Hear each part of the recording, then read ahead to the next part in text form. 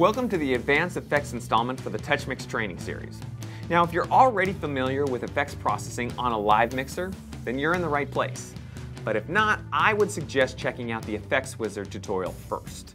The TouchMix has four multi-effect processing engines, which you can use for a mono delay, a stereo delay, chorus, or pitch shifter. You also have access to two reverb processors, the dense reverb and the lush reverb.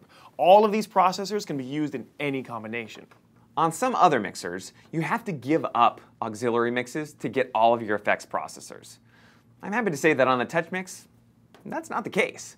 You get four dedicated effects buses and you get one pitch corrector that you can apply to any mono input channel. The effects routing on TouchMix is what you would expect to find on any full-featured digital mixer. There are four post-fader effects sends from each and every input channel, and each effects processor has returns to the mains and the aux outputs. Let's look at the processors first. Here is the main effects screen. Most of it is occupied by the effect processor control panel. This panel lets you store and recall presets, and choose between processors and control effect parameters.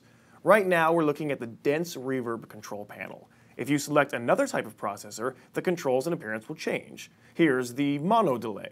Note the tap tempo button. Touch it and you can set the delay tempo using the master control wheel. Some of the control panels also include a simple mode option. To the right of the control panel is the Effect Return Master Fader. This adjusts how much of the effect is sent to the main output. Now across the top, you'll see a row of knobs.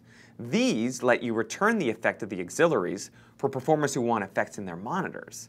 The EQ tab at the top takes you to a two-band EQ with a variable low-cut filter, so you can fine-tune the sound of your effect. EQ settings are stored with a preset. So, that's the processors and its returns. Now let's talk about how to get your channels to the processor. In addition to the effects wizard, which we covered in a previous tutorial, there are two ways to get your input channels to your effects. From the input channel screen, just select the FX tab. On the left of the screen, you will see four processor icons. If you wish to use a different processor or preset, touch the icon to go to the FX master screen. Press home to come back. The four horizontal faders are your effects sends. Bring up one or more faders for the effects that you want to use on this channel. If you're in advanced mode, you will see two Global Effects Parameters knobs. These let you adjust the two most important parameters for the selected processor without having to go to the Master Effects screen. Now, as I mentioned earlier, there's one pitch corrector on the mixer. Touching the Enable button assigns it to the currently selected channel and unassigns it from the previously assigned channel. Use the blend control to vary the mix between the wet and the dry signal. 100% wet is used to correct the pitch. A blend between wet and dry is used to provide a doubling effect, and dry bypasses the pitch correct altogether. Use the key control to select a musical key signature.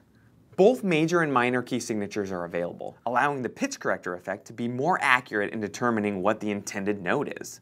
Use the correct rate control to adjust how quickly the pitch correction tracks.